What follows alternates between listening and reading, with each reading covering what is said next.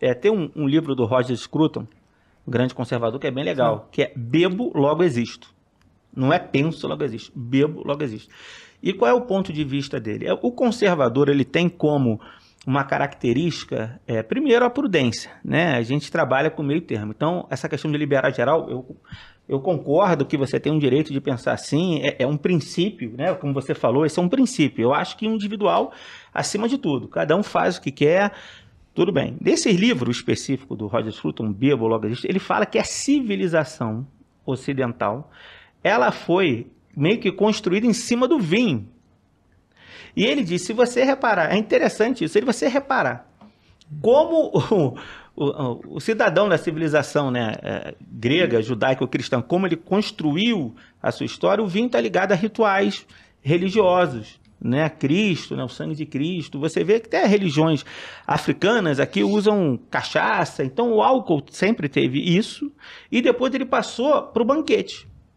E isso fez com que fosse como se fosse assim a graxa da engrenagem para que as pessoas pudessem rir um pouco dessa existência dura, né? Se você for pensar né, de maneira amortece. Isso. Então, é, então a, o álcool foi importante. E ele diz assim: é só observar a, a, como a nossa sociedade é mais é, feliz e tem muito mais coisas se comparar com uma comunista, por exemplo, Sim. ou outra mais religiosa fechada, como no Oriente Médio, onde as pessoas não podem beber. Então ele Pode falar, desculpa. E então, aí ele... ele fala, aí eu coloco por que, que tem isso aqui, exatamente por causa do usos e costumes.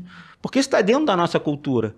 Então, quando você compara o álcool com todas as outras drogas, isso é uma injustiça porque o álcool ele está acompanhando a gente e foi de acordo com o Roger Scruton nesse pensamento que eu achei muito feliz, que é um pensamento prudente, porque eu não sou a favor de tudo ou nada. Esse, uhum. esse pensamento não me pertence. Eu preciso é, olhar a realidade, por isso que assim, eu não tinha nada contra a maconha, eu não tenho nada.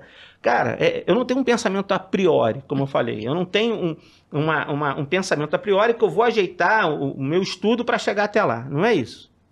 Não é isso. Eu vou olhar e vou falar assim: olha, cara, isso daqui faz mal, não faz. Então, o conservador tem esse olhar. E eu tenho esse olhar para a realidade. Então, aqui, o álcool está aqui. Realmente, tem uma, um, uma matéria no meu estudo que eu coloquei que diz que álcool e tabaco são as drogas que causam mais mal no mundo.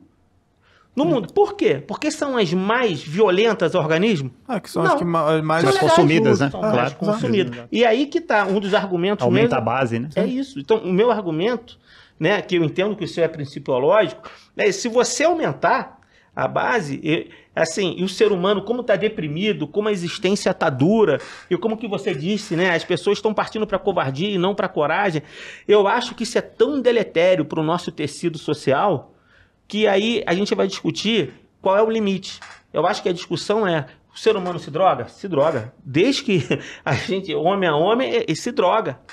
Independentemente de ser proibido ou não, o ser humano vai continuar vai se, se drogando. drogando. É Exato. isso. Então, a ah. questão, o meu olhar é assim, vamos olhar para os fatos, me tragam outros fatos, a gente senta, reúne, conversa e, e vê assim, cara, de que maneira, qual é o impacto disso na sociedade?